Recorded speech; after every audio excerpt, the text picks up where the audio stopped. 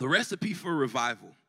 So I feel like revival in the past, especially in the past few months, has been such like a trending word We've probably heard it a bunch. You're seeing revivals sparking out in these places, and you see college kids and campuses all over the nation. People are having these revival services and these revival moments, and they're staying for days without end. They're coming and going. People are flying in from all over the country to experience these different types of revival.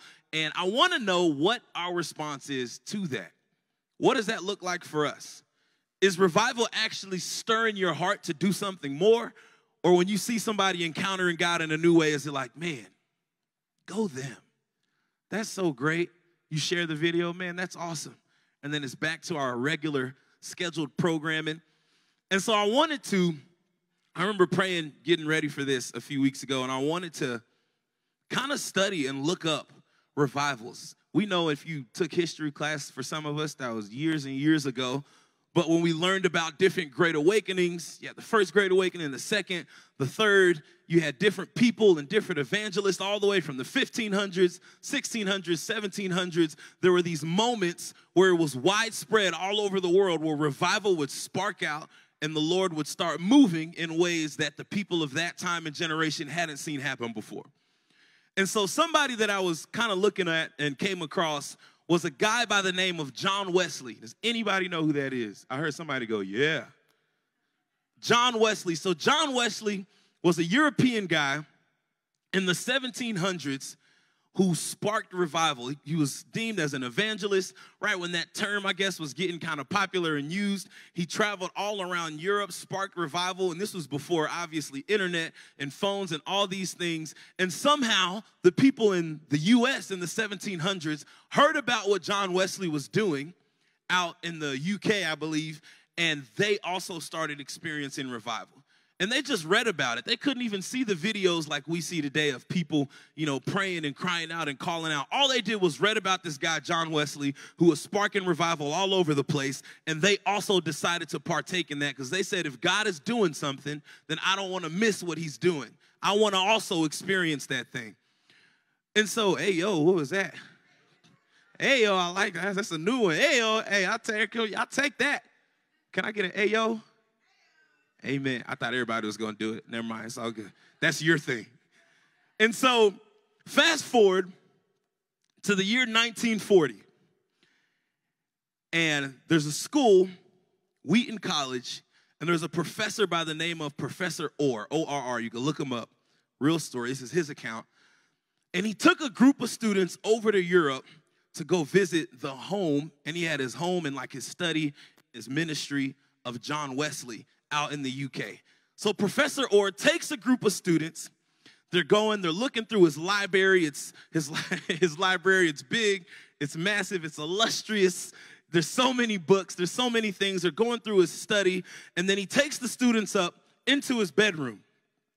And then they look, there's books on the bedroom, there's Bibles everywhere, so many things, his stuff from the 1700s, all still there. And then they go over to the side of the bed and in the carpet, there are two worn out, almost to the cement patches right next to each other. And Professor Orr stops and he says, Guys, can anybody tell me what this is? And nobody knew what it was. And he was like, This is said to be the spot where John Wesley, every morning and every night, spent hours without end praying for revival to come. So much so that the carpet and the threads in the carpet were so worn out that you could see the cement in two patches. That for 35, 40 or so years of his ministry, every single day for hours, in the morning and at night, he would put his knee in these two circles and he'd pray. And obviously, over time, those spots got more worn and more worn and more worn, and he prayed for revival. He said, God, we want to see revival. He has notes and journals of, of it everywhere. We want to see revival. I want to see revival in my time. All the kids, I'm sure, were fascinated. And then they leave and they're going out, and Professor Orr, again, look this up. Story is so cool. Professor Orr gets on the bus and he's given a head count of the students, and he notices that a student is gone. And so I don't know how he lost him in the first place, but he goes back. He's looking for this student. He looks through the library, the study, all of those things, and he goes into the bedroom and he sees a student kneeling down in the same two places where John Wesley was. And he says all he could hear the student saying was, Do it again, Father. Do it again, Father. Do it again, Father. And do it through me over and over again. He said he stopped and he watched him for a minute. Do it again, Father. Do it through me. Do it again, Father. Do it through me. And so he goes and he taps him on the shoulder and he says, Hey, we got to go. And Billy Graham got up and went back to the bus. He got up and went back to the bus, and God did it again through him. A college student. So, again, I ask, what is our response to revival? What is our response to seeing and hearing revival, and what can that response birth? What can that response bring about? Because we're praying for a revival. I feel like we've been, we say it every year at some point. Lord, bring revival. But what does that, what does that even mean? Revival in what? Revival in who? Because if revival defined is just something that once was dead or no longer popular becoming live and popular and common again, God it didn't die off. The Holy Spirit didn't stop moving. So when we pray for revival, who we praying for? What are we praying about? If you yourself are revived, then you yourself would initiate revival in others. It's what that, that age old you saying, well, you catch on fire, anybody close to you is gonna burn. But like, for real though. And so, again, what is our response to revival? We know that God is omnipresent. We know that He's everywhere. We know that He's moving, but revival in a sense that we want to see and experience not just His omnipresence, but we want to experience His manifested presence his manifested presence where we can actually see the power and the glory of God displayed in all the earth. I think we'd all agree that we are living in some very prophetic and crazy times in the globe. And we all believe that, but for whatever reason, we still have no response for revival. We still don't have a response. So I'm praying that today, today, Ayo, something would rise up inside of us that says, God, I want to have revival and I want to know exactly what that means and what that looks like for me personally. Amen. Let's pray. So, Father, we thank you so much that your spirit has never stopped moving. God, that you go where you're wanted and people go where you're moving. And so, Father, we thank you that we would have a heart and a desire for revival, God, that we would want to see revival in our day, not just through us, but in us in a way that says, God, come and do whatever you want to do, that your omnipresence isn't enough, Father. We want to see your manifested presence here on the earth. And so, God, do today whatever you want to do reveal to us what revival is in our own lives. Father, reveal to us what revival is in the lives of the people in the of those that we encounter, impact, and influence. We receive it by faith in Jesus' name. Amen, amen, amen. So the recipe for revival, if you're taking those, the first thing, the first thing, repentance and prayer repentance and prayer. Pastor Jason a few weeks ago shared a vision that he had from the Lord and shared that he believed that revival, the foundation of revival is going to come in on in the vehicle of repentance. Even if you look back in the Old Testament through Moses, it was just a pattern of y'all, this is what God said. We ain't doing it. Repent so that God can heal us. And we see this theme over and over again. Every prophet, we get to Malachi at the end. Hey, y'all, this is what Moses said, God said. We still not doing it. Repent and get back to what God is doing. Hundreds of years go by, God doesn't say anything. And then John the Baptist steps on the scene and says the same thing Repent for the kingdom of heaven is upon us. That didn't change. What do we have to do to get into a state? If God's mercy is new every day, that means that there is something that I need to repent of to be able to receive and experience the mercy of God. And that repentance is what will fuel revival. And so, when we talk about revival, obviously prayer is a very foundational thing. I don't know about you guys, I don't have any John Wesley patches in my home. What would that be like to get into a moment where I prioritize prayer so much that when I'm not praying, when I'm not in the presence of God, I cannot wait to go back. You ever be in church? Don't lie and hear the Lord's watching.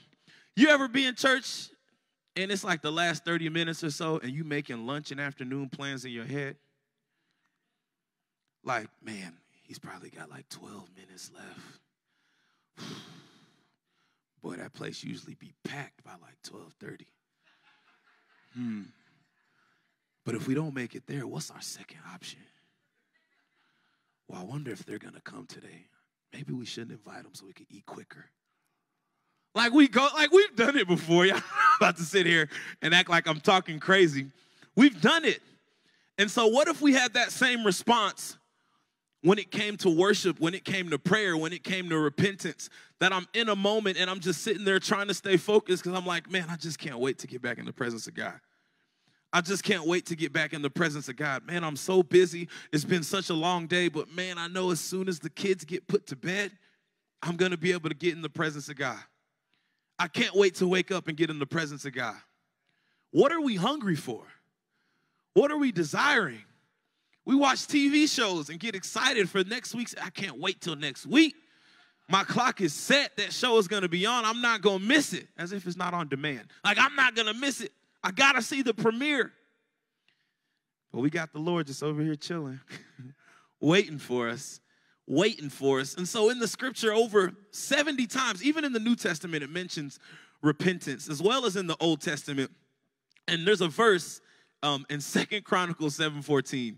I love the Lord's talking to Solomon, asking him what's going on, or Solomon's asking him what's going on. The Lord gives Solomon a word. And in verse 14, it says, If my people who are called by my name will humble themselves and pray and seek my face and turn from their wicked ways, repentance, then I will hear from heaven and I will forgive their sin and I will heal their land. Then I'll heal their land. Do y'all feel like our land is healed right now? Feel like that's a unanimous decision. So then, why wouldn't we put ourselves in a position that says, God, I'm going to turn from my wicked ways? And some of y'all need a refreshed definition of wicked ways because y'all think that wicked ways is just extreme sin and extreme things. Wicked ways could just be loving your neighbor. Just be loving your neighbor. To turn from those things. And it says, I'll pour out my spirit and heal your land. And so in prayer, we see that all these moments, we have Jesus in the New Testament, we have prophets of old, we have the disciples getting away in prayer and putting themselves in a place of expectancy so that they can anticipate the thing um, that God is going to do next. And so, write this down also. What is the question that we have to ask, and the question that I had to ask and prep for this is what is my role in revival? What is my role in revival? What am I doing personally in revival because most people don't move because they don't know what their role is. They don't know how to define it. They don't know what thing God told them to do. They don't know how to get God out of that box. Maybe you're sent. Maybe you're supposed to be interceding. Maybe you're supposed to be resourcing the kingdom. Maybe you're supposed to be doing something. But there is no bench in the kingdom of God. You either on the field or you're in the way. There's no sideline. But it's hard sometimes because we don't define what roles in revival are like they do in scripture to be able to contribute to what God is doing. Asbury College out in Kentucky had this massive five to eight day something revival. I'm sure everybody in here has heard about it at some point. If you got four young kids and you a full-time parent, you're not road tripping to Asbury to spend three days in prayer. But that does not mean that you don't have a role to play. That doesn't mean that you can do nothing and sit and say, Great, good job, go Asbury students. That sure is awesome. I was reading Nehemiah 3, and we'll look at it here in a second. And Nehemiah hears from the Lord that he needs to rebuild the walls around Jerusalem where the cities enter, that they'd been damaged in battle, that they'd been, uh, there was some fire damage on some of them. And he's saying, man, we need to rebuild this wall. This needs to happen for this community, for this city. And in Nehemiah 3, I love this. In Nehemiah 3, verse 1, it says, Then Eliashib, the high priest, rose up with his brothers, the priest, and they built the sheep gate. They consecrated it and set its doors. They consecrated it as far as the tower of the hundred, as far as the tower of Hananel. And next to him, the men of Jericho built. And next to them, Zakur, the son of Imri, built as well. And so I heard somebody talking about this and pointed out something amazing. For starters, I love that the first person that decided to build was the high priest. The high priest said, You know what? Hey, I'm going to go first. I'll set the example. Toss me one of them hammers. Toss me some of that clay. I got you. And if you go down this scripture, there's people from all over. They decided to build. The son of this person, they decided to build. The man next to him from Jericho, from another city, he decided to build. And I love in verse 8, if you skip down, it says, Next to them, Uzziel, the son of Hariah, goldsmith, repaired. So you got somebody who's a jeweler, and he's like, Hey, man, I'm here. They said, Great, what can you do? I mean, I can make some necklaces and stuff. Cool, here's a hammer. You got a part to play. You've got a role to play. It's going to take all of us. And the next verse it says, next to him, Hananiah, one of the perfumers, repaired. Hey, what's your name? Um, I'm Hananiah. Cool, what do you do? I mean, I make people smell good, you know. Dope, here's a hammer. You got a part to play. There was nobody excluded from the high priest to the perfumer to the to the jewelry maker. Every person said, and again, when you have time, go back and read Nehemiah 3. Every person, this person was, this person repaired, and they restored Jerusalem as far as the broad wall. Next to them, Rephaiah, the son of Hur, ruler of half the district of Jerusalem, repaired. You got leaders to jewelry makers, because they said, hey, this thing needs to be built up because it affects all of us. And so, regardless of what my role is in the natural, regardless of what my vocation is, I'm going to help build this thing because it is imperative that it is functioning in a way that benefits all of us. And in the same way, when we're thinking about revival, everybody has a part to play, and it is imperative that we all step into our roles so that revival can actually hit where we are. Um, hey, what's, what do you do? Well, I mean, I'm just a school teacher, and I just great. What's your hammer look like? We got to get revival built. Hey man, what do you do? Well, you know, I'm just a business owner. I, you know, I really don't. Great. You got a role to play as well. What does your hammer look like? Have you ever took a moment and prayed and said, "Okay, God, I see revival happening. So many things are happening. People are moving. It's it's stirring up everywhere. What am I actually supposed to do? What am I actually supposed to do, not just in a corporate moment where, man, the Holy Spirit breaks out and you're like, this is great. And we can be in a setting like this and have no idea what everybody does in this space. People falling out in the Spirit, and this is great and awesome. And then you get to your bank job the next day and it's like, man, it would be real nice if somebody could play those keys right now so that I could stir something up in this place. Like, what is your role? And so, again, if you didn't write that down, Write, please write down. Pray about what my role is in revival. Revival. What is my role in revival? What does that look like? What does my hammer look like? Is it facilitating something? Is it praying for something? Is it going and doing something? What does that look like? And one thing that I also want to take note a recipe for revival is fasting. Is fasting. 80%, I think it was, of the body of Christ, according to like a Barna study, So it's a pool of people. Of the body of Christ say that they fast once a year. 80% of people fast once a year, and it's usually corporately, which is great. Nothing against that. But if that's the only time that we're fasting and putting ourselves in a position to hear from God clearly, I guarantee that there is something or some kind of shortcoming happening somewhere in your life, whether you're aware of it or not.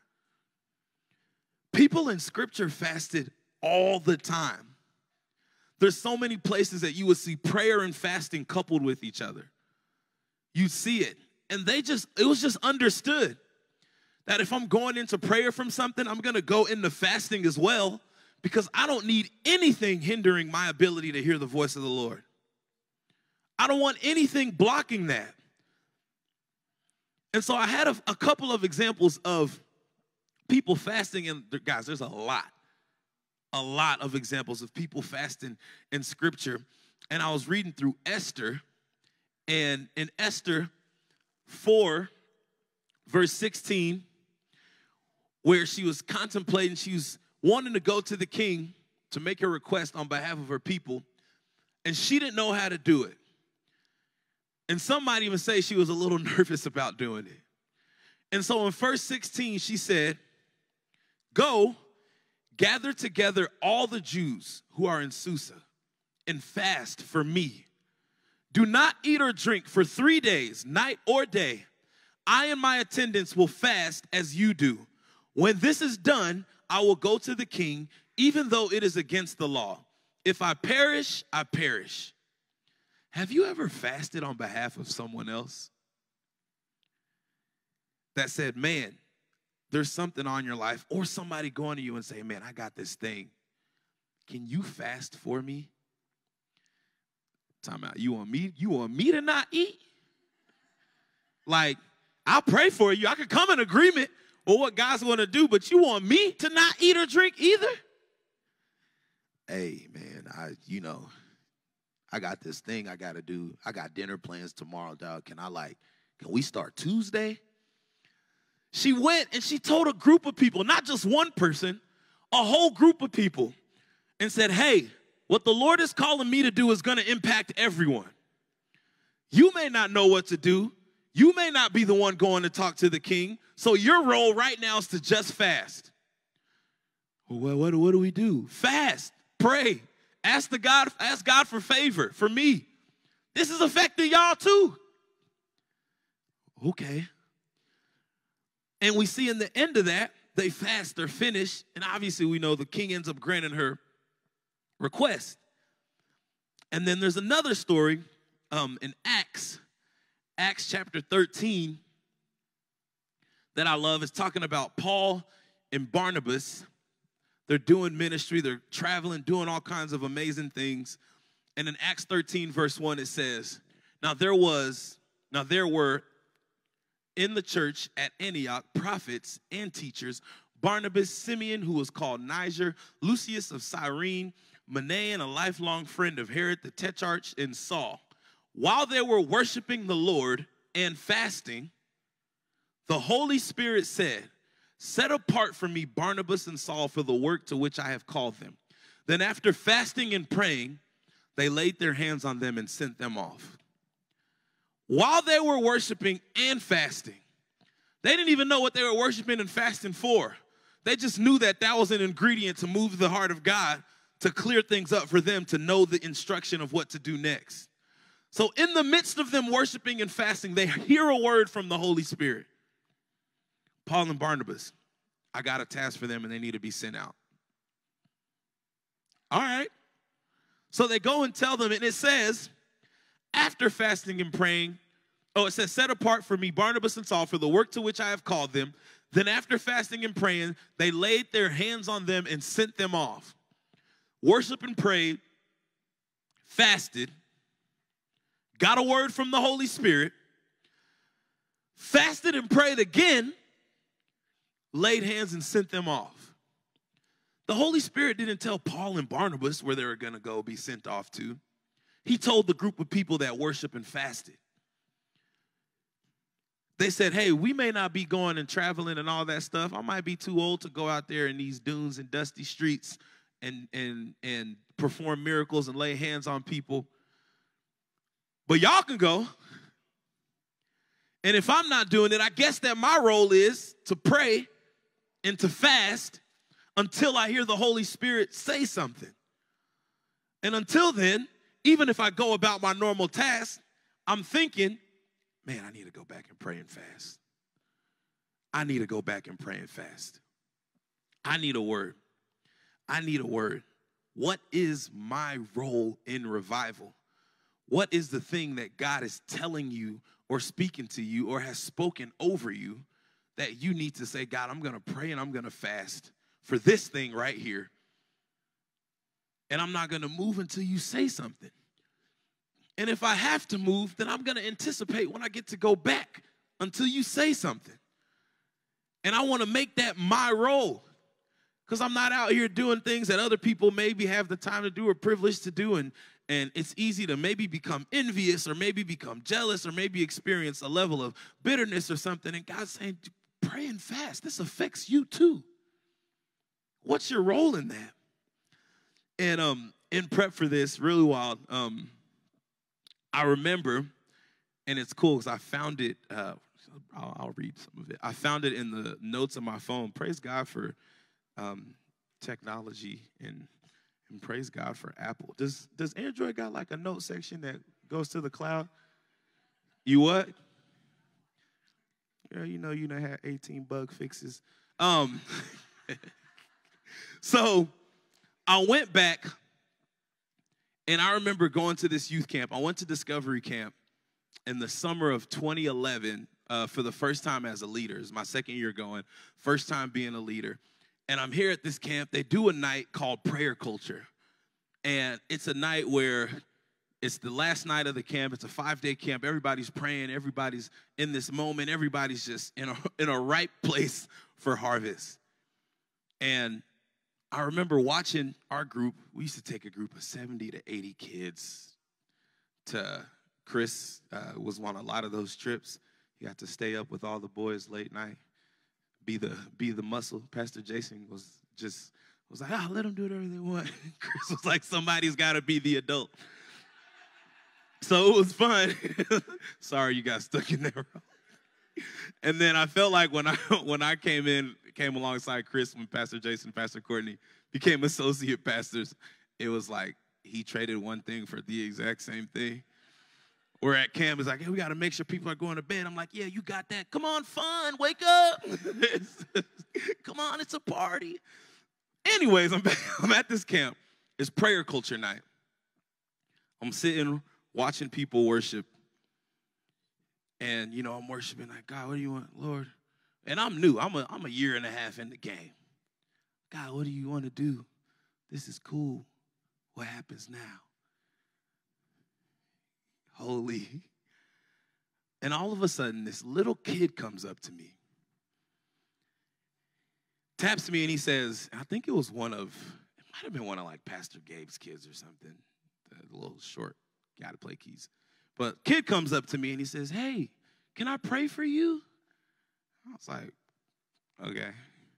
And literally tells me to come down to his level. So I get on my knees and he like puts his hand over my shoulder and this little kid starts wrecking my entire life.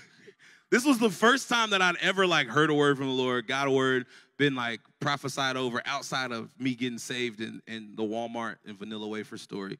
But outside of that, this is the first time post being accepting Christ that I'd got a word from the Lord.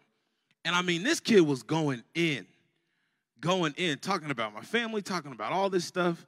And like, young kid, and he says, Oh, and I feel the Lord, I feel the Lord saying Romans 12, 5. Was, at that point, I didn't know zero scripture. And this little kid was like spouting it out. I feel the Lord saying Romans 12, 5 over you and that. You're gonna be, uh, he wants to use you. Actually, I wrote it down. okay, I did not speak as eloquently uh, in 2011. I actually don't really speak that eloquently now, but I said, hey, yo, I got this word from this kid that was seven years old. I ain't never ever have nothing like that happen before. Nothing. N U T T I N. Praise God. He came and asked if he could pray for me, and when he did, I kneeled down and he started saying different scriptures from the Bible that I did not know. He mentioned my family, me at school. He even talked about what I struggled with, all of that. He said that God was calling me to bring people to work together for Jesus, and not just people from my own church, but people from all over that love the Lord. He said Romans 12 5. I got to look that up because I don't know what it says. And he said that when I work with other people, it makes God happy. That that's what I'm supposed to do. That God's going to use me in a great way to do things not just in the church, but outside of the church. I'm not sure what happened, but it felt really weird.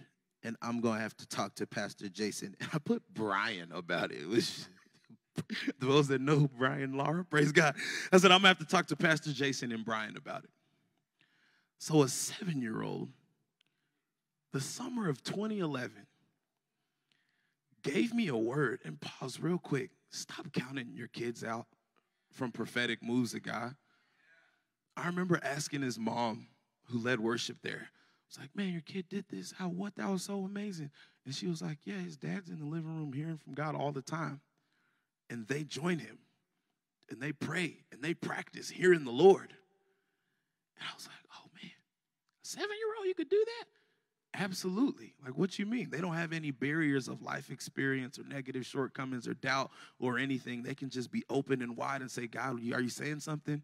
Cool. And they'll go up to you nonchalant, hey, this is what the Lord said. Yeah. And then walk away. And you over here, like, really? like, I was bawling in this kid's arms. 2011, and I want to show y'all a couple a couple clips. Um, Yvonne, you can play that first clip, just the first one. Romans 12, 5 says, So in Christ, we, though many, form one body. And each member belongs to all the others. So why can't we come together and worship? Why can't we come together in prayer? Why can't we come together as one body in Christ? To pray together. To praise Baby together. Chi. This isn't about a church name. So how much more effective can building God's kingdom become when we do it together as one. So I encourage pastors to come out. I encourage youth to come out. And we're going to pray together. We're going to worship together. And we're going to be together as one body united in Christ. So let's build the kingdom. So I show you this because I received the word from God. I didn't know at the time that that was like gonna mark and change the trajectory of my life for the next decade plus. Received the word. I said, I don't know what to do with this word. I'm gonna be doing stuff with other people and other churches and other what? Y'all, we got back from camp. This was 2011, summer.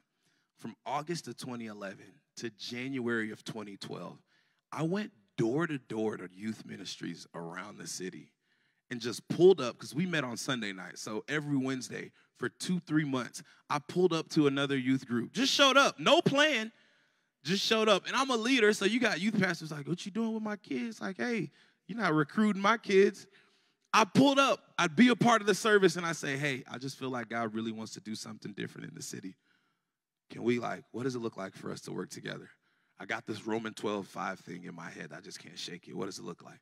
We the one body are many different ones every week. And I went by myself. like I just went. And so that video was birthed out of some of those the youth leaders and stuff that I encountered. They were like, "Yeah, let's do it. Let's do it." And I was like, "Yeah, we're going to have our own prayer culture. Let's do it. We're going to have it at our youth building and it may be at somebody else's church next time." Y'all, we had this event and four people showed up. And three of them were in that video. And we prayed for five hours that God would do something in our city and that He would use us to do it. And for the next year or so, we went different churches. We had different things. We were doing things, building community. Now it's a season just from a kid, a seven year old kid. Show that next picture, Yvonne. So after that, I can't see if you can see, I'm in the little orange hat right there. Again, I didn't know what to do. This was about 2014.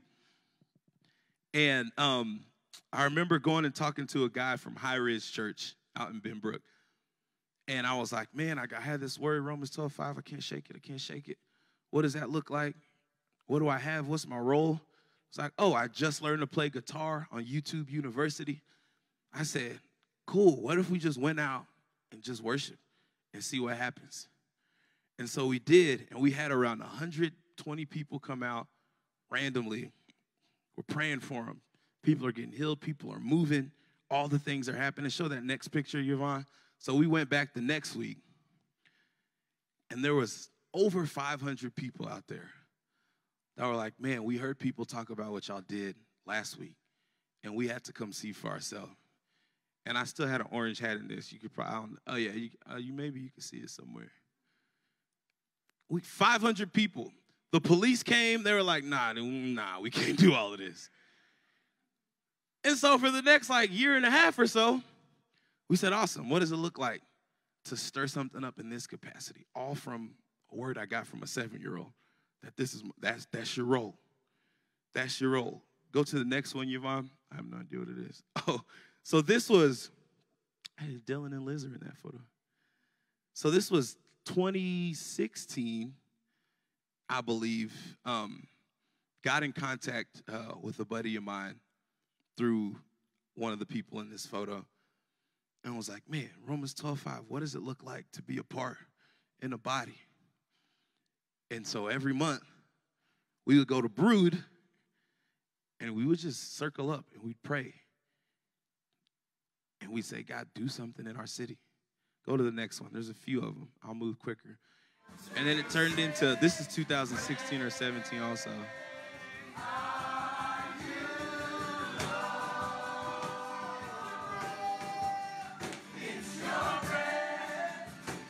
And so that turned into, oh man, we're gonna go in these people's houses and we're gonna do this thing and we're gonna see what that Romans 12 5 word looks like in this season. We're gonna see what this is gonna turn into because I got a word from a seven year old that said, This is your role.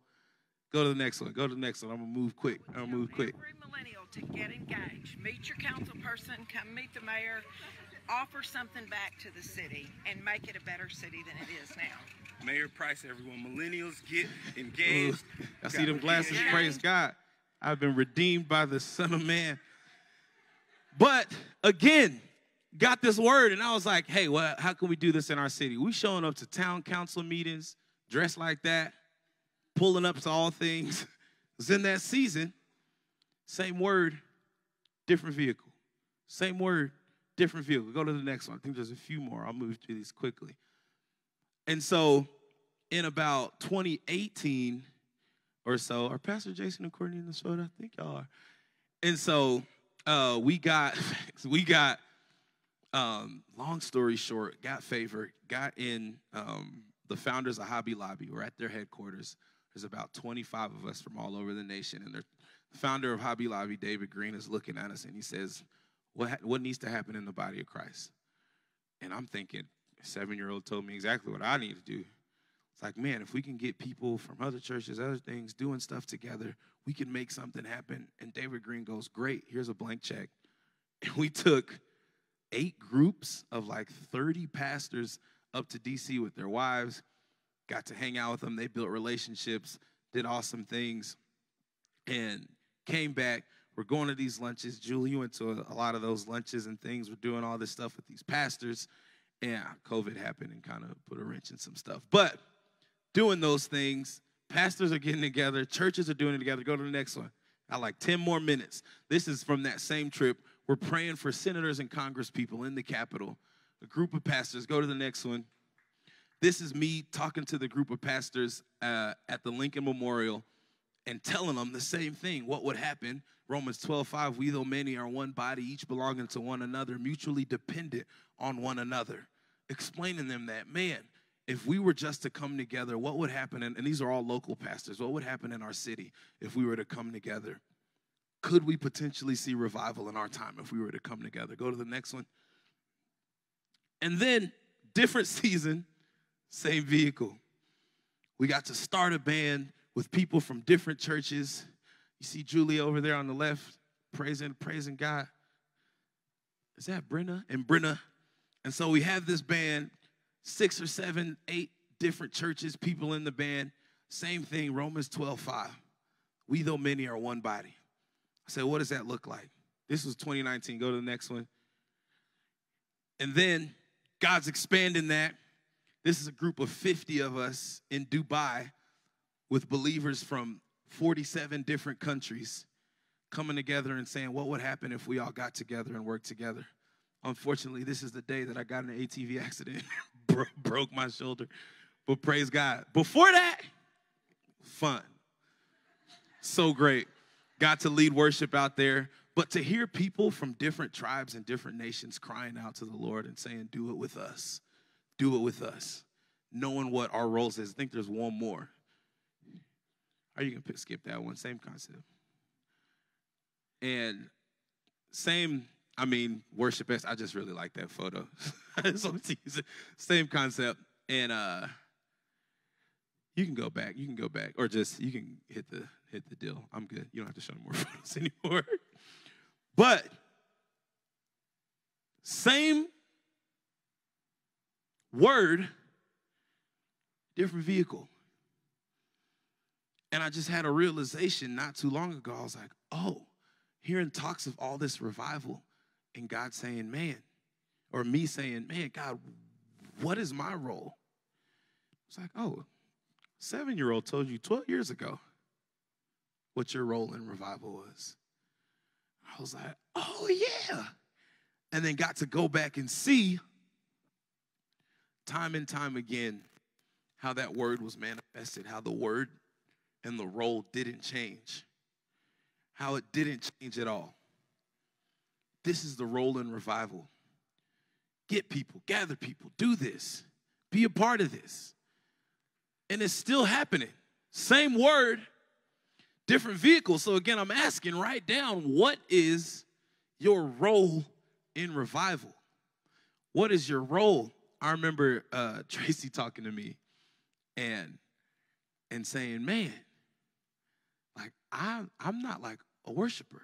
I love to worship, but I'm not singing or playing. And she got in a moment where she was fasting and praying. I was like, man, God, what's my role? And I remember when she got up super excited and was like, oh, the Lord said I'm supposed to be praying and interceding. I'm supposed to be praying and interceding. Like, that's my role. And now, again, to see the different vehicles that God is using to bring that role to pass, because not everybody's gonna lead worship. Some people are gonna be praying and fasting for those that are being sent, and it's not a lesser role in any capacity. There's some of us in here that are waiting for some of y'all to pray and fast, like in Acts 13, to hear a word to then deliver from us or deliver to us, rather. We're waiting for that to say, man, there's no sideline in what we're doing. There's no sideline in what God wants to do when it comes to revival. We are waiting for everybody to grab their hammer and say, I may be a jeweler, a high priest, a perfume maker, a teacher, a businessman, but I have a role when it comes to revival. And if the very least I can do is pray and fast and commit to praying and fasting for those that maybe have a freer schedule to do the things of God, then so be that. Pray and fast. And the last two things, I'm gonna move through this quick. Recipes for revival. Last two things Holiness. Holiness is one. Holiness is one. Pastor Jason talked about this a few weeks ago when he shared the vision um, of what he was talking about, of what the Lord was sharing with him. That we have to pursue holiness in a way that we've never pursued it before. In Hebrews 12, verse 14, it says, Strive for peace with everyone. Some of y'all disqualify right there. Strive for peace with everyone and for the holiness without which no one will see the Lord.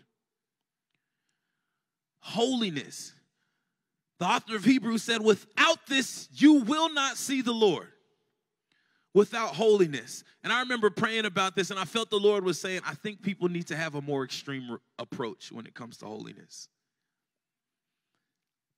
I ain't gonna be mad if it's more extreme. Do you want to see me or not?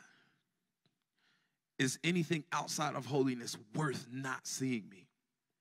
Y'all, the world is getting crazier. And the crazy part about it is nobody's denying that fact. There's not a person that's like, nah, it's chill. It's normal. You know?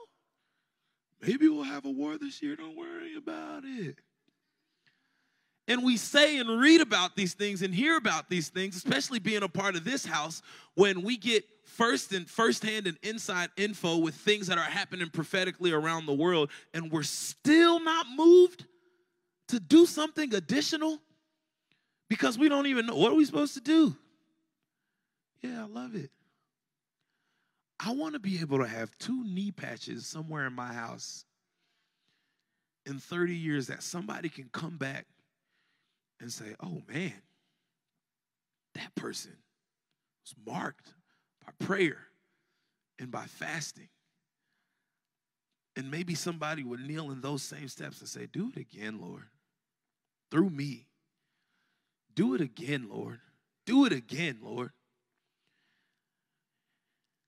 And there's a one more scripture in John 11. This is Jesus um, is being persecuted for performing works, for preaching the gospel. And he's in Judea. And he gets to a point in verse 54. And it says, Therefore, Jesus no longer moved about publicly among the people of Judea. Instead, he withdrew to a region near the wilderness to a village called Ephraim, where he stayed with his disciples. Will we get to a point where our response to revival is so minimal that the Holy Spirit then goes, I just can't move publicly there anymore then? Jesus said, I, am no longer going to move publicly in this space.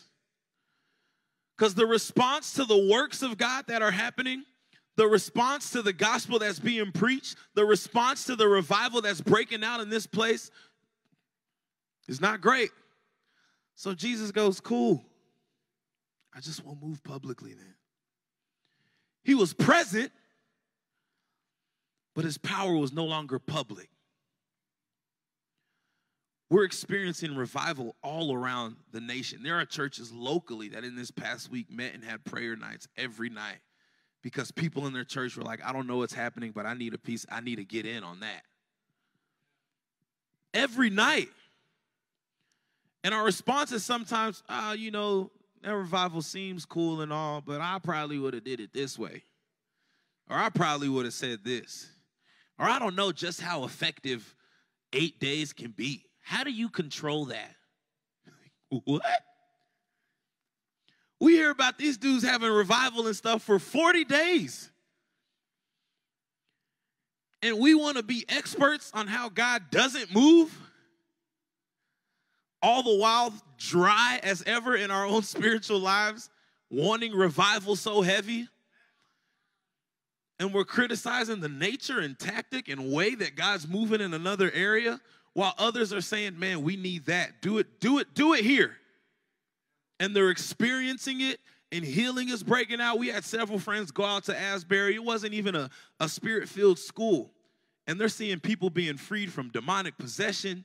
Healings are breaking out. People are being restored and set free. Addictions are being broken. You're hearing these stories coming out of places like this, and other people responding in a sense that's saying, Man, do it again right here. I don't know what I can do, but I could pray though with intentionality. I can fast with intentionality. I can do all of these things and say, God, if this is going to be my role in revival, I want to take it seriously as if the body depends on it. I want to invite my kids into it.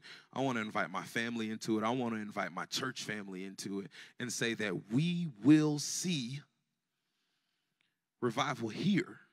It's happening already. The question is not whether if it's going to happen or not. It's is it going to happen with you? Is it going to move through you? Is it are you going to put yourself in a position that says God whatever it is I'm not going to compare it to something else. I'm not going to shine it up against something else. Give what is my role in revival? Don't let me discredit what you're doing. I don't want to try to frame how you're going to do something. Just give me the word and I'll be open to whatever that looks like, whatever it is. And I feel like God's going to call a lot of y'all to fasting, honestly. But actually, intentionally fasting and getting in a position that says, man, God, I may not be physically being sent out in this capacity, but give me a word. Give me a word that can change the trajectory of somebody's life. Bring a seven year old that's bold and courageous to go up to a big six two dude and say, Can you come down down here to my level so that I can give you something that the Lord told me?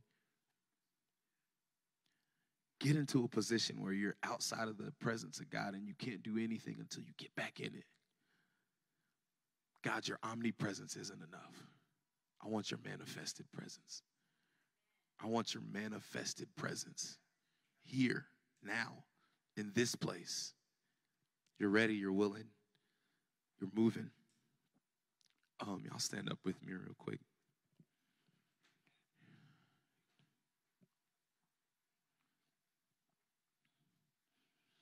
Yeah, I just want to pray um, for the roles of revival. And um, actually, I will. Last last point, and I'll just talk about it as we close, is discipleship. Discipleship. I find it interesting that one of Jesus' last words and commands um, isn't one of our top priorities. And if we even look around in this room, there are, which is wild because it's pretty, it feels like it's pretty mixed, but there are a plethora of young people here who are waiting for someone to fast and pray on their behalf. And so, if you are somebody who is older, who's been walking with the Lord, who feels like you have a prayer life that's active, I am challenging you to find one of these people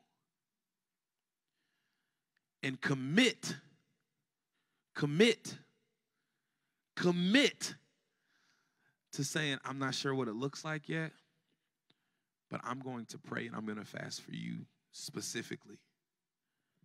Specifically. Take a minute. Y'all looking at me. Take a minute. Look around. Just look around. Look, look. There's young people all around this room. There's young adults all around this room. There's a lot of us. We need to be covered by y'all. Period.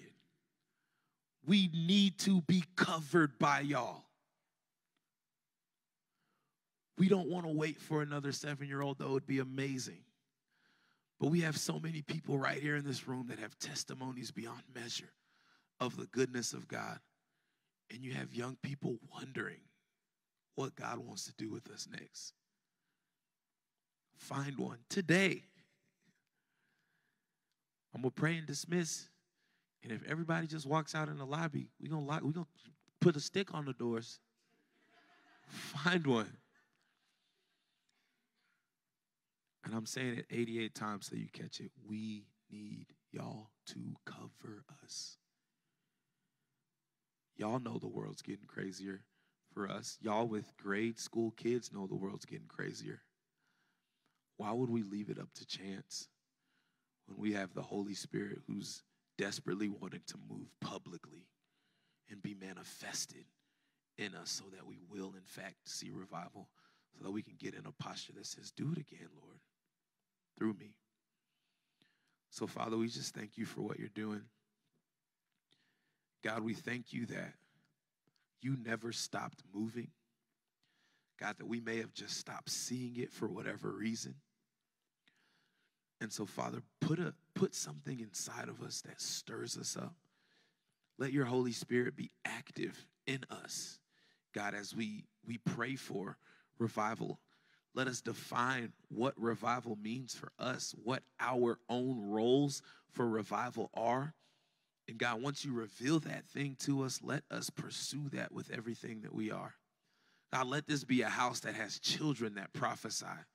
Let this be a house that has kids that have dreams and visions, God, and give prophetic words to those that change the trajectory of people's lives, God. Let this be a house that has older people pouring in to the young people that you are calling and sending out, Father. Let this be a house filled with people that are praying and fasting on behalf of what you're doing in this church and what you're doing in this city, Father. Let this be a house of people that are hungry for a move of you.